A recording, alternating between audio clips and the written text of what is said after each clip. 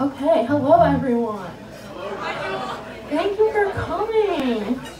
This is our last show here. It's so sad. So it really means a lot that you all came. So uh, now we're going to do an original that I wrote with Vera. Ooh, the lights. Um, I don't think they ever did that for us before. Um, it's called Looking for You.